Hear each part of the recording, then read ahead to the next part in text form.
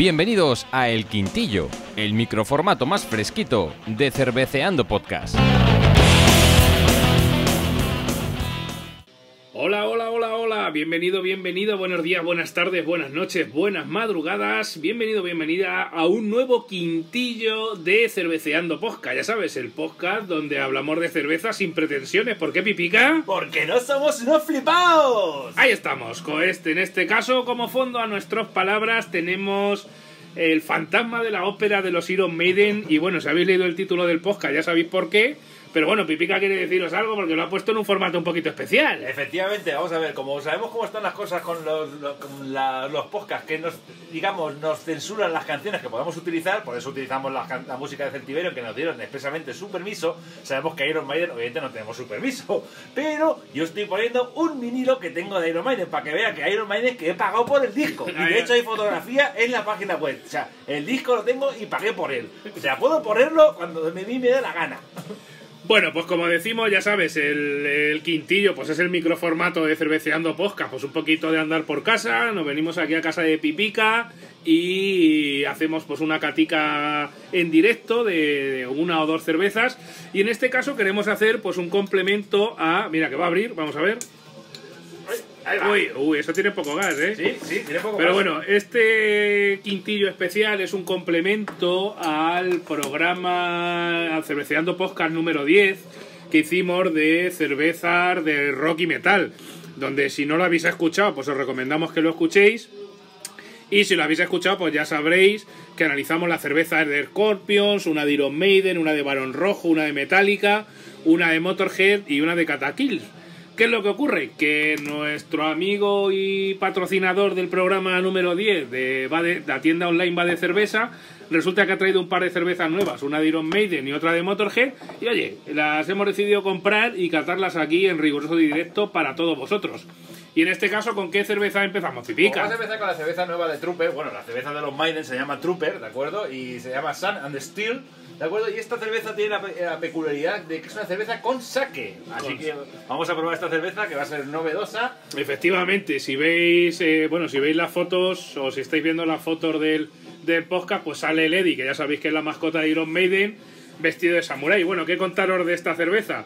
Por esta cerveza Trooper Sun and Steel tiene 4,8 grados de alcohol, no tenemos índice de coeficiente IBU, está fabricada por Robinson Brewery, tiene a día de grabación de este quintillo más de 8.200 registros con una media de 3,33. Y vamos a haceros la cata en directo. A ver, Pipica, ¿qué te parece? Pues mira, de olor, ahora mismo me huele muy parecida a la cerveza Trooper normal de los Maiden. O sea, como la cerveza Trooper, como recordará la gente, es una bitter, una tipo bitter, y me recuerda mucho, mucho. Sí que es verdad que hace más espuma esta Sí, cerveza. no es que se pase de espuma, pero de espuma Hace- inicial no hace está mal. espuma y hace cerco. Hace cerquico. Y luego hace cerquico. Y luego también veo que también es más clara. La cerveza de los Maiden es más oscura, es tipo bitter, eh, digamos, color tostadito. Esta no, esta es un rubio, pero un rubio más oscurete. Yo ¿no? tengo que decir que a nivel de burbujeo, la verdad es que tira, tira poquita burbuja una vez que, que la echamos en el vaso. Ahora vamos a ver con la cata, vamos a probarla en, directo y vamos a ver cómo está esta cerveza de los Iron Maiden. Sun cerveza and. Steel. Sun and Steel, que sale además del Samurai Eddie, que la verdad es que la botella es una gozada y es un montón, nada más que por lo que sea. Sí, yo, yo digo que la botella me la voy a guardar para la colección, ya te lo digo, ya te lo digo. Bueno, a ver qué te ha parecido de sabor.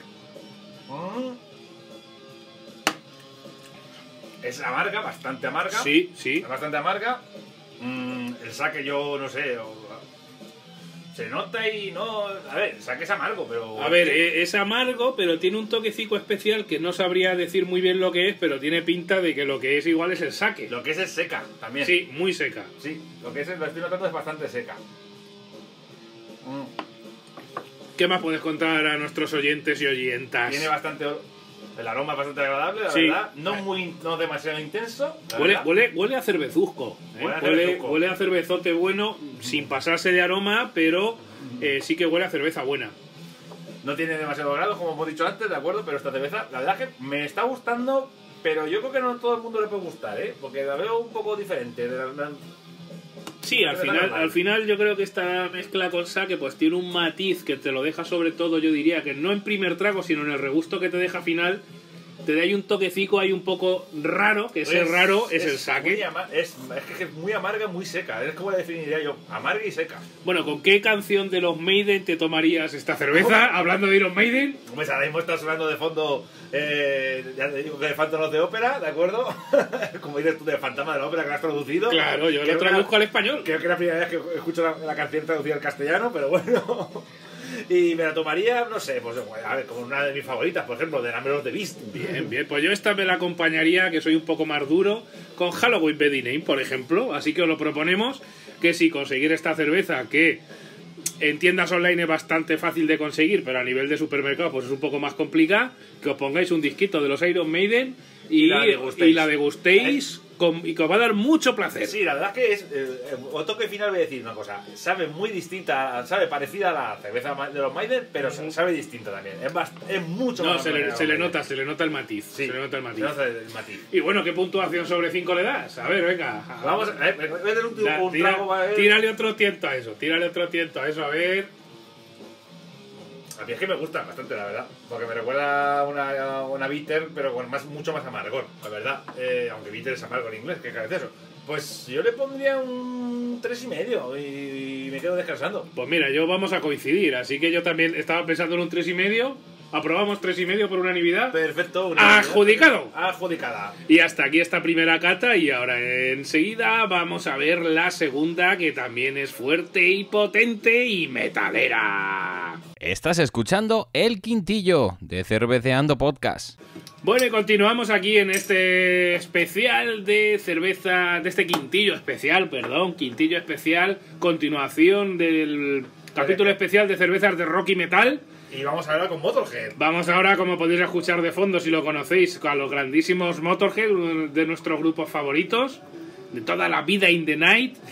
Y vamos con esta cerveza, que es la moto en el, en el episodio número 10 analizamos ya la cerveza de Motorhead. En este caso han sacado otro otra distinta que es la Motorhead Bastards en este caso. ¿Qué contaros de Bastard? ¿Por qué tiene este nombre? Pues Bastards es un disco de Motorhead que Motorhead sacó en el año 1993. Y bueno, aparte de- del disco, pues esta cerveza Motorhead está fabricada por Crown Lanes Brewery. Es una cerveza tipo Lager Pale. Tiene 4,7 grados de alcohol, un 0,1 menos que la que hemos analizado antes de Iron Maiden. Y bueno, a fecha de grabación de este quintillo tiene más de 9.800 registros con una media de 2,78. Vamos a ver si lo subimos o lo bajamos.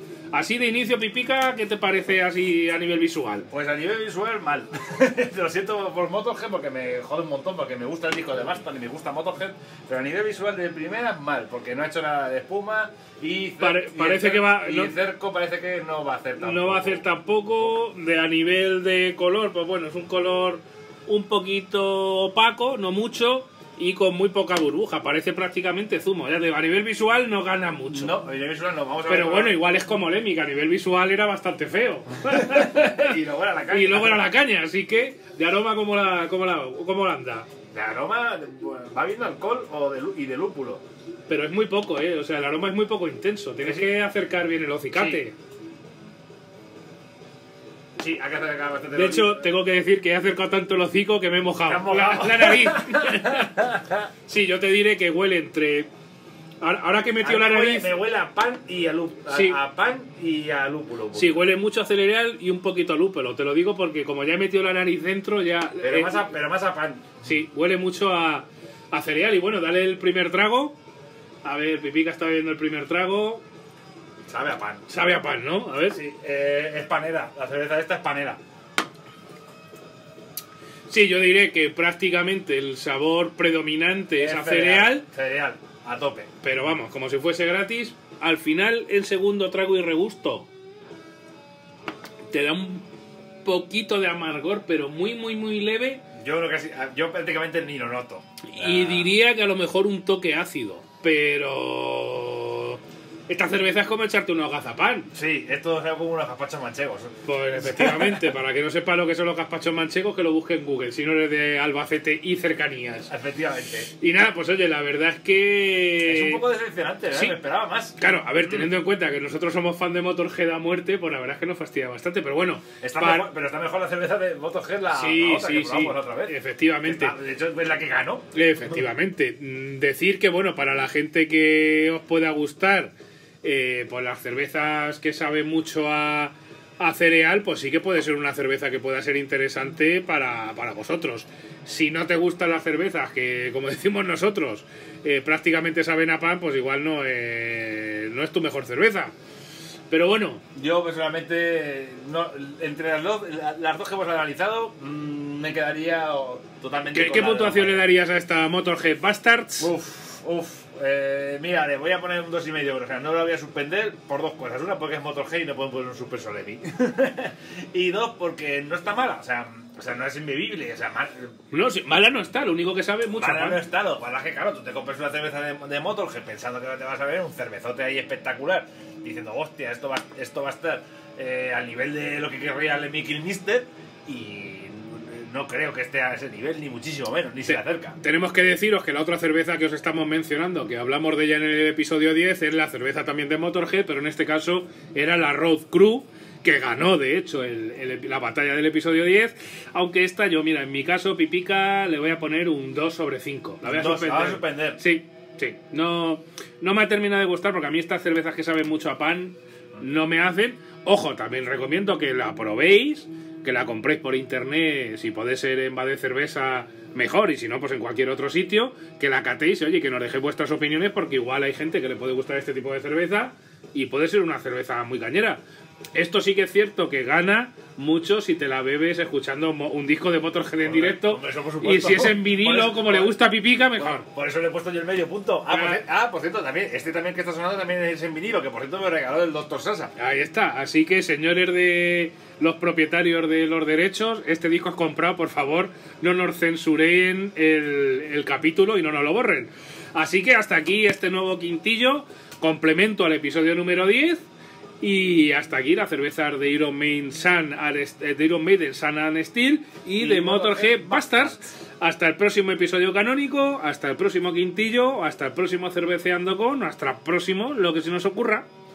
Hasta el próximo, hasta el próximo. Hasta luego. Adiós.